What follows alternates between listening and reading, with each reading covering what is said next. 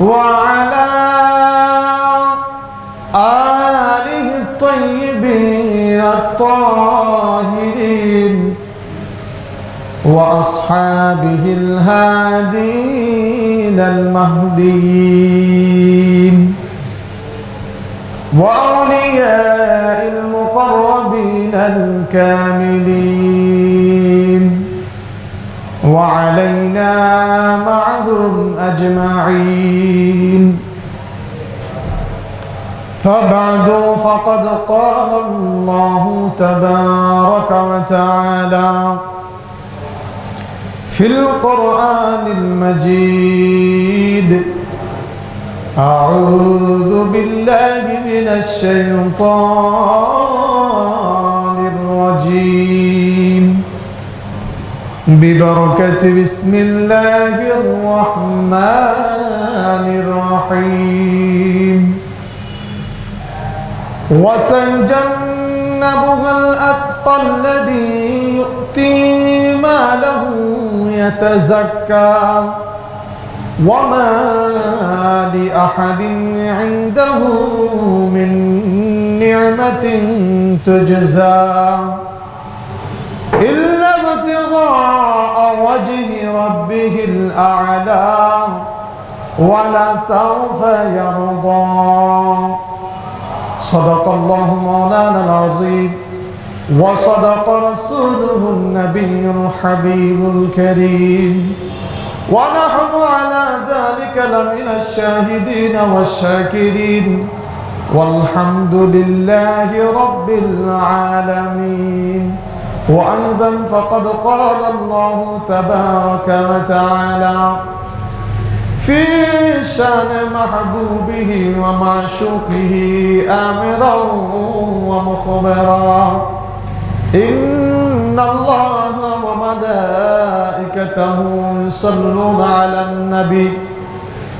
يا أيها الذين آمنوا صلوا عليه وسلموا تسليما.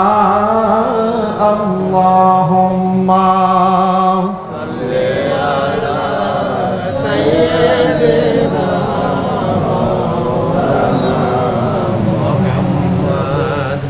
وعلى آل سيدنا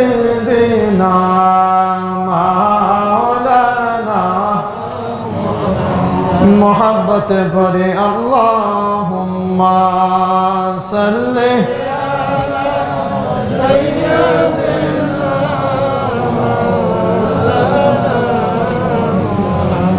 مد وعلى علي سيدنا مولانا. يا رسول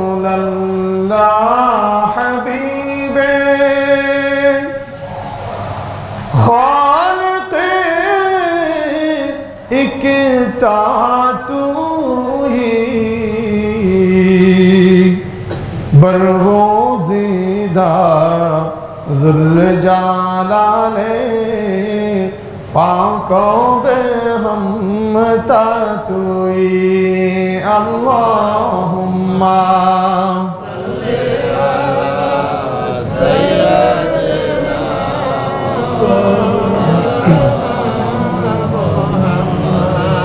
وعلى آله سيدنا مولانا محمد لا إله إلا الله لا إله إلا الله لا إله إلا الله لا إله إلا الله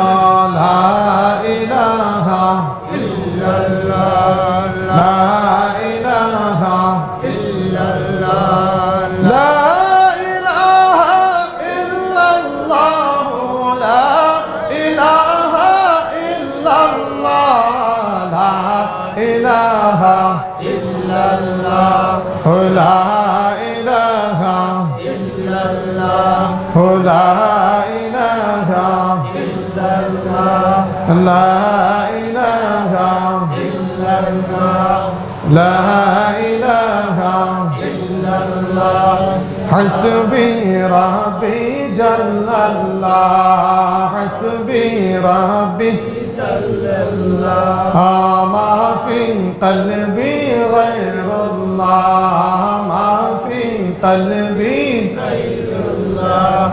نور محمد صلى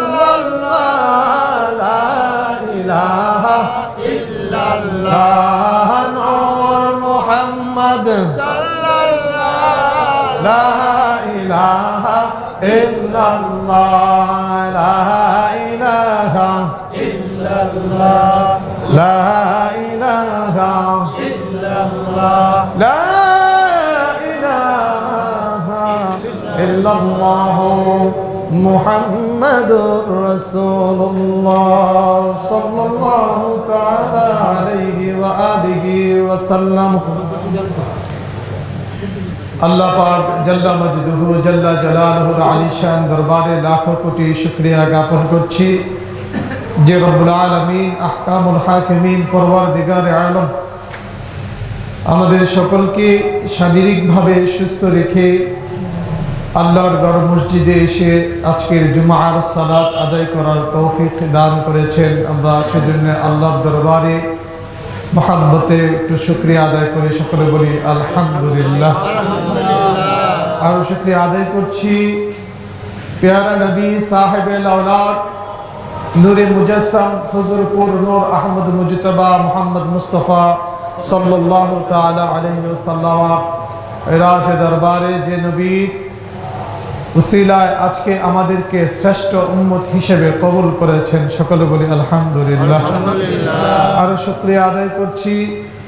উম্মত শ্রেষ্ঠ ওই সমস্ত বুজুর্গানে দিনের যাদের বদৌলতে আমাদের এই উপমহাদেশে তথা বাংলাদেশে আমরা ইসলাম পেয়েছি সকলে বলি আলহামদুলিল্লাহ।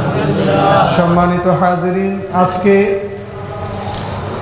আরবি যে শীতকালীন দুই মাস ছিল, দুই মাসের আজকে দ্বিতীয় মাস। অর্থাৎ আমাদের দেশের বৎসর গণনা হয়, ঋতুগুলা উপরে ডিপেন্ড করে, আমাদের প্রত্যেকটা ঋতু দুই মাস করে হয়, ঠিক না? অনেক এখন তো আমাদের দেশে ঋতুটাও একটু পরিবর্তন হচ্ছে। কিন্তু ঋতু হয় কয় মাস করে? দুই মাস করে। তা আরবিয়া এরা দুই মাস, এইটাকে শীতকালীন মাস বলতো জমাদিউল আব্বাল আর জমাদিউল ওখরা ওটাকে জমাদিউল উলা বলে, আবার জমাদিউল ওখরা বলা হয়। আমাদের দেশের ভাষায় বলে জামাদিউল আব্বাল আর জামাদিউল সানি। সানি বলুক আর ওখরা বলুক, এটা হচ্ছে যে আরবি শীতকালীন মাসের দ্বিতীয় মাস। সকলে বলি আলহামদুলিল্লাহ। যে মাসটাকে আমরা পেয়েছি এবাদতের জন্য। কি জন্য পেয়েছি? আল্লাহ আমাদের প্রত্যেকটি মুহূর্ত প্রত্যেকটি সেকেন্ড আমাদেরকে যে হায়াতে জিন্দিগিতে বাঁচিয়ে রাখছেন এই বাঁচিয়ে রাখাটা উদ্দেশ্য একমাত্র কি? আল্লাহ সুবহান ইবাদত করা ঠিক কিনা? আলহামদুলিল্লাহ আল্লাহ সুবহান আমাদেরকে এই মাসের মধ্যে একটা মেসেজ দিয়েছেন। এই মাসের মেসেজটা হচ্ছে আপনার সামনে যত আসছে সময়, রজব শাহবান রমজান। এই মাসের মেসেজ হচ্ছে এটা যে তোমরা দান সৎকা করতে, আস্তে আস্তে অভ্যস্ত হতে শুরু করো সুহান সর্বপ্রথম কেন বলল?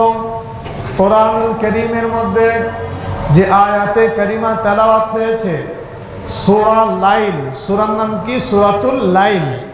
এই সুরাটা আছে তিরিশ পারা তিরিশ নম্বর পাড়ার মধ্যে কয় নম্বর পাড়া তিরিশ নম্বর পাড়ার মধ্যে সুরাতুল লাইল এই সুরার মধ্যে আল্লাহ সুবহান এই আয়াতে করিমা যখন বললেন তেলাওয়াত হচ্ছে বিসমিল্লাহির রহমানির রহিম وسيجنبها الأتقى الذي يؤتي ماله يتزكى وما لأحد عنده من نعمة تجزى বরকবল্লা সুবহান এই আয়াতে করিমা সৈদিনা সিদ্দিক আকবর রাদিয়াল্লাহু তাআলা আনহু শানে নাজিল হয়েছে সুবহানাল্লাহ কেন হজরতে বেলাল হাফসি রাদিয়াল্লাহু তাআলা আনহু নাম শুনছি কিনা আমরা নাম শুনছি উনি এমন একজন সাহাবি এবং আশেকে রসুল ছিলেন যাকে এত কষ্ট দেওয়া হয়েছে এত অত্যাচার করা হয়েছে শুধুমাত্র কারণ কি ইসলাম গ্রহণ করার কারণ তার দোষটা কি ছিল? সে কেন ইসলাম গ্রহণ করল? সে ছিল একজন গোলাম দাস ছিল। উনি একজন হাফসি কি ছিলেন? দাস ছিলেন গোলাম ছিলেন। সে ছিল উমাইয়া। নাম শুনছেন আপনারা? নাম শুনছেন? এই উমাইয়া, এই উমাইয়ার কি ছিলেন? একজন কেনা গোলাম ছিলেন, টাকায় কেনা গোলাম ছিলেন, তখন দাস প্রথা ছিল, তখন ইসলামের প্রাথমিক যুগ। এই উমাইয়া বিন খলফ, সে হজরত বেলাল হাফসি রদিয়াল্লাহ তালা আনহু ওনাকে ক্রয় করে তার দাস হিসেবে ঘরে রেখেছেন। কিন্তু যখন আল্লাহ সুবহানাহু তাআলার পক্ষ থেকে والذي جاء بالصدق وصدق به أولئك هم المتقون سبحان الله আল্লাহর পক্ষ থেকে যখন সত্য চলে এসে সত্য চলে এসেছে আল্লাহর পক্ষ থেকে যখন কিতাব চলে এসেছে আল্লাহর পক্ষ থেকে যখন সত্য নবী চলে এসেছে বিসসিদিকি, যখন সত্য কিতাব এসেছে, সত্য নবী চলে এসেছে, সত্য দিন চলে এসেছে, তখন অসদ্দাকা বিহি, আর ওইটার উপরে হজরতে বেলালে আপসি এটার মধ্যে কি করল? সত্যায়ন করল, সে স্বীকৃতি দিল। সে বলল, এটা হক। সে মেনে নিল ইমান আনলো, মুসলমান হলো। সুবহানাল্লাহ।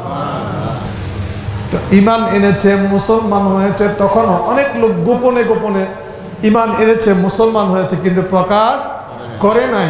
আল্লাহ সুবহান তালার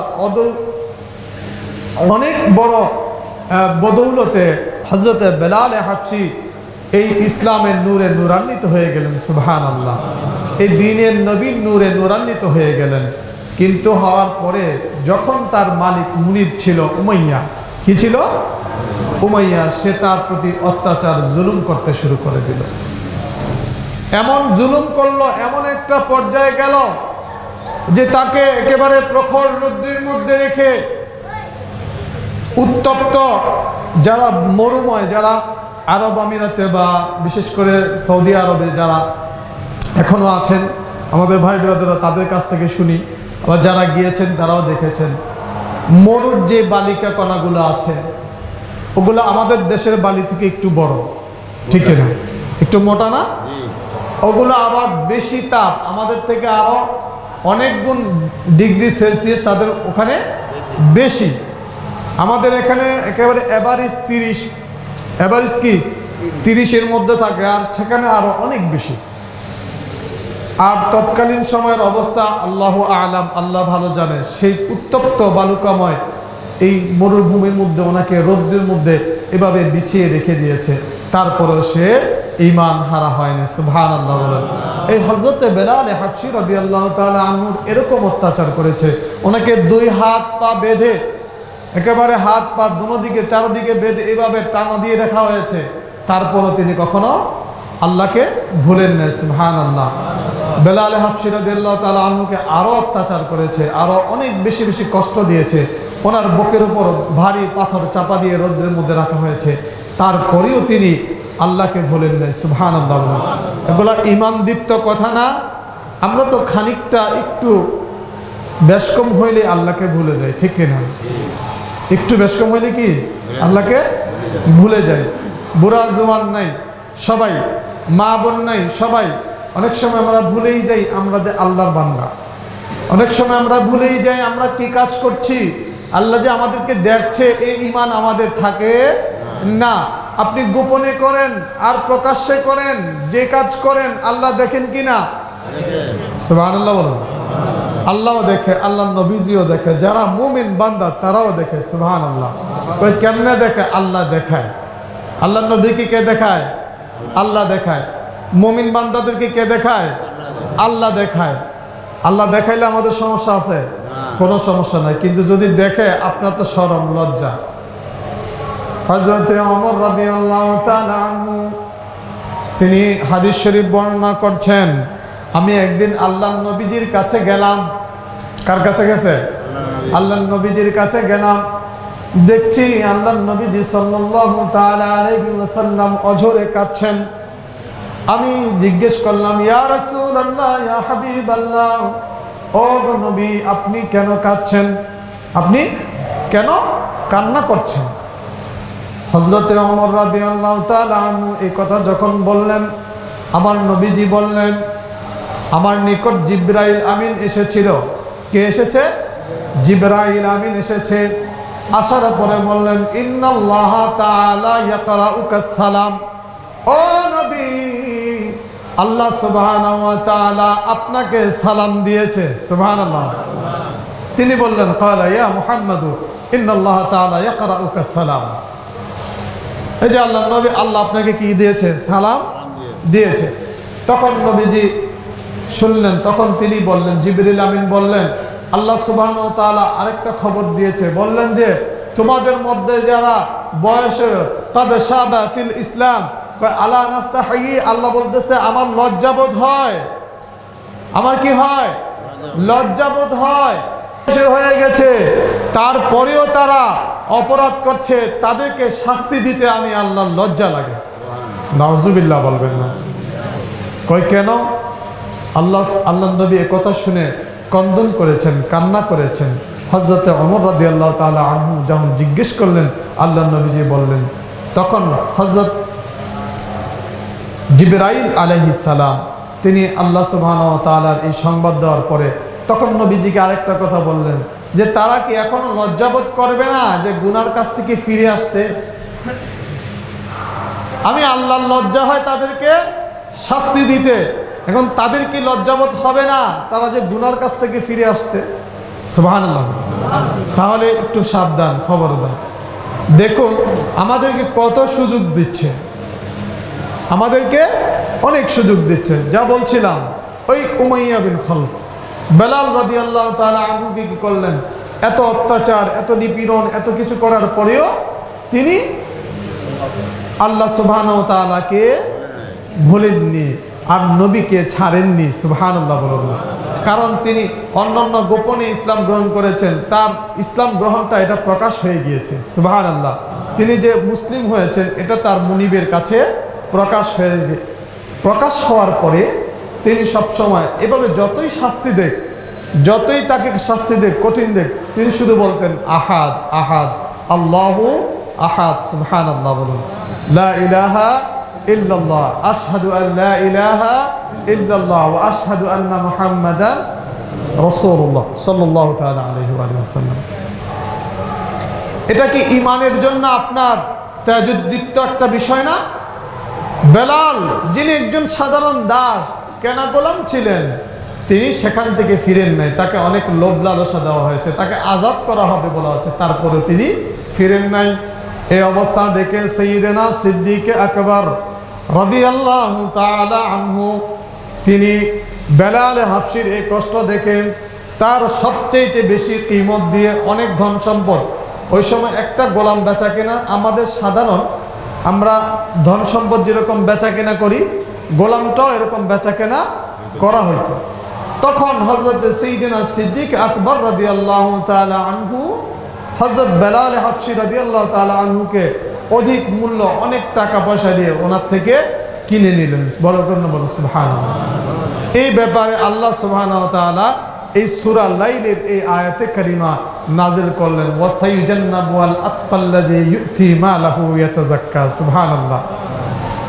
যে তারা এমন কিছু মানুষ যাদেরকে জাহান নামের আগুন ধরতেও পারবে না, ছুবেও না, ধারে কাছেও আসবে না, গন্ধও পাবে না সুবহান আল্লাহ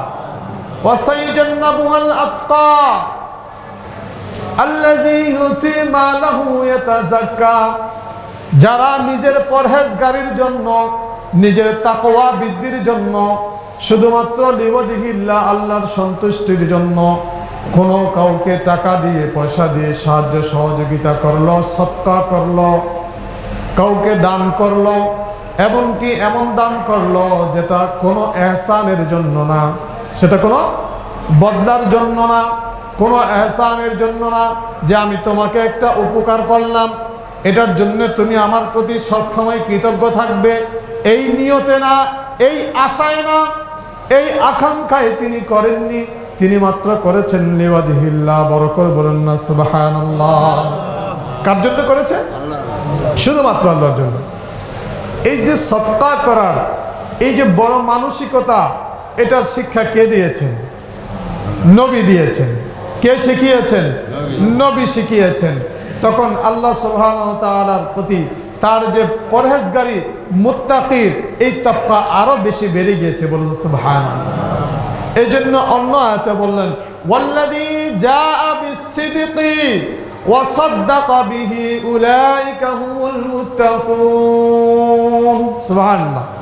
ওই যে যারা সত্য এসেছে, কোরআন এসেছে দিন এসেছে, ইসলাম এসেছে, আবার সত্য নবী এসেছে, এই এগুলা পাওয়ার পরে এই সত্যকে যারা স্বীকৃতি দিল ওয়াসদ্দাকা বিহি, যারা এটাকে স্বীকৃতি দিল, মানল, সত্য বলে জানল উলা ইকাহুমুল মুত্তাকুন, তারাই হচ্ছে মুত্তাকিন বলুন সুবহান আল্লাহ এটা ওসানে সিদ্দিক আকবর বলুন সুবহান আল্লাহ এরপর আল্লাহ সুবহান তাআলা তাদের একটা যাজার ব্যাপারে বললেন ওয়ামা লিআহাদিন ইনদাহু মিন নি'মাতিন তুজজা।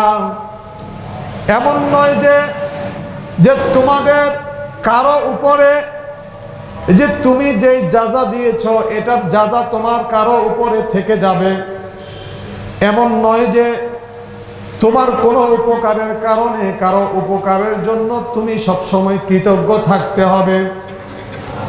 এটা কেন করেছে? ওয়ামালি আহাদিন মিন নি'মাতিন তুজজা, যে তোমার যে নিয়ামত এটা যাজা এটা যে তোমার প্রতি কারও থেকে যাবে এমন নয়, এ কারণেও নয়।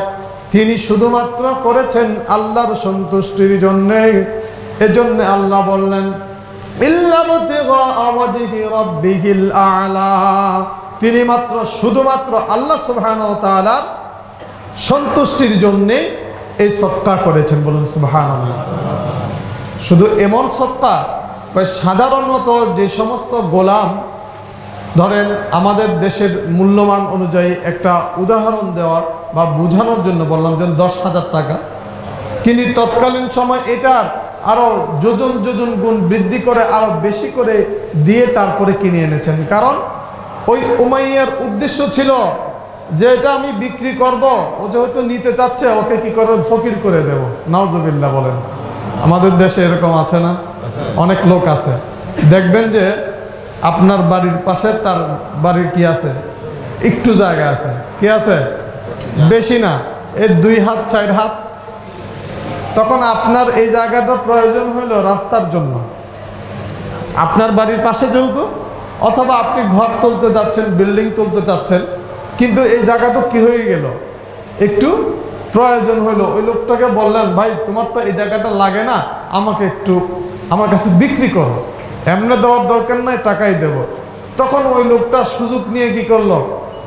এটার দামটাকে আরও বেশি বৃদ্ধি করে দিল। তো এটা কি হওয়া উচিত। এটা আলামত কাদের? যারা ইমান আনে নাই তাদের। যেটা উমাইয়া করেছে। কথা বুঝেন নাই? ওগুলো আমাদের জন্য মেশাল না উদাহরণ না। তা উমাইয়া যেটা করেছে এটা কি মুসলমানের করা সাজবে? বড় করে বলুন, সুবহানাল্লাহ। তাহলে মুসলমান এটা করতে পারে না। যেহেতু আপনি, আমরা সকলেই আমরা কি হয়ে যাব? ধ্বংস হয়ে যাব। আমাদের সকলেরই যেতে হবে পরকালের প্রতি। এজন্য এখন থেকে সাবধান, খবরদার। আপনারা সব সময় চিন্তা করবেন, আমার প্রত্যেকটা কাজ, প্রত্যেকটা আমল যেন আল্লাহ দেয়া এবং আল্লাহ নবীজির যে ওয়ার্ডার, নবীজির সুন্নত মোতাবেক যেন হয়, বলি সুবহান আল্লাহ যদি না হয়, তাহলে আল্লাহ আপনার জন্য কি রাখবেন? জাহান্নাম। কি রাখবেন? জাহান্নাম। কারণ আল্লাহ ওখানে এভাবেই বলে দিলেন। এইভাবে আপনাদেরকে বললেন যে জাহান্নামটা এই জন্য নয়। এমনও কিছু লোক আছে যাদের লেবাস বেশভূষায় সব দিক দিয়ে দেখতে মোত্তাকি পরেজগার কিন্তু তার মধ্যে ইমান নাই। কই কেন নাই? কই তার মধ্যে এমন কিছু ত্রুটি আছে, যে ত্রুটিগুলো শুধু আল্লাহই জানে গোপন। সুহান আল্লাহ এমন ত্রুটি, কয়, মানুষে জানে না। কয়, জানে, তার, যারা কাছের মানুষ আছে, তারা জানে। সুহান আল্লাহ কয়, এগুলা জানার পরে কি হবে? আল্লাহ যদি চায়, মাফ করবে। আর যদি আল্লাহ না চায়, ওই কাছের মানুষগুলো যদি সাক্ষী হয়ে যায়, তখন তার জন্য তার, সেই গুনার জন্য কি হতে হবে? জাহান নামে যেতে হবে। তো সাবধান। আমরা গোপনে হোক আর প্রকাশ্যে হোক, যদি আল্লাহ সুবাহর কাছে এবং আমাদের করণীয়ের মধ্যে যদি আমরা কোনো ত্রুটি করি, আমরা যদি কোনো ভুল করি, আমরা যেন আল্লাহর কাছে বারবার ক্ষমা চাই। যা বলছিলাম হজরত সঈদিনা সিদ্দিক আকবর রাদি আল্লাহ তালা একজন আদর্শ মডেল সুবহান আল্লাহ যিনি নবীজিকে পদে পদে অনুসরণ করে আমাদের জন্য মডেল হিসাবে আছেন। এজন্য সাহাবি যারা আছে, সাহাবায় কেরাম আমাদের ইমান ঠিক না? কেন? আর সাহাবায় কেরামকে আপনি যদি বিশ্বাস না করেন, না মানেন, আপনার ইমানের মধ্যে খাতরা আছে। ঠিক কিনা কারণ আল্লাহ নবীজি সাহাবায় কেরামের অনেক ফজিলত মর্যাদা দিয়েছেন এবং তাদেরকে ভালোবাসতে শিখিয়েছেন। তাদের মর্যাদা আমার, আমাদের দিতে হবে কি হবে না? আপনি সাহাবির মর্যাদা দিচ্ছেন না। আপনি বলবেন অমুকের এই দোষ, সেই দোষ, এটা আপনার সাজবে না কখনো। ঠিক না? আপনার বলতে হবে যে ওই সাহাবি এভাবে চলছে, আমি চেষ্টা করব ওইভাবে চলার জন্য। সুহান আল্লাহ কয়, কেন? কয়, তারা আপনার থেকে কোরআন, হাদিস বেশি বুঝেছে। কয়, কীভাবে? কয়, তারা এই নবীকে সরাসরি দেখেছে। কোরআন যেটা নাজিল হয়েছে তারা নবীকে জিজ্ঞেস করেছে, ব্যাখ্যা জিজ্ঞেস করেছে, ইয়া রাসূল আল্লাহ ইয়া হাবিব আল্লাহ এটা কি? এটা কেন করব? এটা কীভাবে করব? সুবহান আল্লাহ বলে। এটা সবচেয়ে উত্তম মডেল হবে সিদ্দিকে আকবর রাদি আল্লাহ তালা আনহু ইনশাল্লাহ আজাল এই মাসের আবার প্রতি জুমায় প্রত্যেকটা, এটার একটা ধারাবাহিক থাকবে। আপনারা অবশ্যই সময় মতো আসবেন, কারণ শীতকালীন সময় খুবই কম সময়। আপনাদের কাছে আবারও বিনীতভাবে আরজ। আমরা আমাদের জীবনের সময়গুলোকে একটু মূল্যায়ন দিতে শুরু করি। মূল্য যদি আমরা না দিই, তাহলে আমরাই ফস্তাবো। আমাদের আর কোনো সুযোগ থাকবে না। তা আল্লাহ যেন আমাদের সকলকে বুঝার, জানার, মানার তৌফিক দান করে। আরেকটা কথা বলছি, বিশেষ করে এই মাসটা যেহেতু শুরু হয়েছে, আপনারা যারা রোজা রাখার অভ্যাস আছে এবং মা বোনেরা যারা রোজা রাখার অভ্যাস আছে, আমি গত মাসে বলেছিলাম, আপনারা প্রত্যেক মাসে আইয়ামে বীজের রোজা রাখতে পারেন এবং চন্দ্র মাসের প্রথম দিকে, মাঝখানে এবং শেষ দিকে আপনার নফল রোজা রাখতে পারেন বলে সুহান আল্লাহ এই রোজা রাখলে কি হবে? আইয়ামে বীজের রোজা রেখেছেন বাবা আদম আলাইসাল্লাম কে কে রেখেছেন? আদম আলাইসাল্লাম সুহান আল্লাহ এই আইয়ামে বীজ বলা হয় এই জন্যে যখন চন্দ্রটা খুব শুভ্র হয়ে যায়, চন্দ্রটা কি হয়ে যায়? শুভ্র হয়ে যায়, সাদা হয়ে যায়, দবদবে হয়ে যায়, বেশি আলোকিত হয়। সেটা হচ্ছে মাঝখানে। কখন? চন্দ্র মাসে মধ্যবর্তী সময়ে, অর্থাৎ চোদ্দ তারিখ। কয় তারিখ? এই চোদ্দ তারিখ আপনারা দিবাগত রাতে রোজা রাখবেন। এটাকে আইয়ামে বীজের রোজা বলা হয়। আল্লাহ সুবাহ এই রোজার জন্য অনেক যাজা অনেক পুরস্কার দেবেন। সুবাহ তাহলে আমাদেরকে আরেকটু আমল করার তফিক দান করুন। বিশেষ করে আমরা ফরজ সলাতের পাশাপাশি নফলগুলো একটু আদায় করার চেষ্টা করব। আস্তে আস্তে আমাদের একটু অভ্যাসটা আর একটু পরিবর্তন হতে হবে। আমরা যেন সামনে যেই মাসগুলো আসছে, এবাদতের যে মাসগুলো আসছে আরও বেশি বেশি যেন এবাদত করার যে চর্চা আমাদের মধ্যে থাকে, সেই তৌফিক যেন আল্লাহ আমাদেরকে দান করুন। সকলে বলে আমিন। ও আখর দাওয়ানা আলহামদুলিল্লাহ রবিল আলমিন। আসসালামু আলাইকুম রহমতুল্লাহ তালা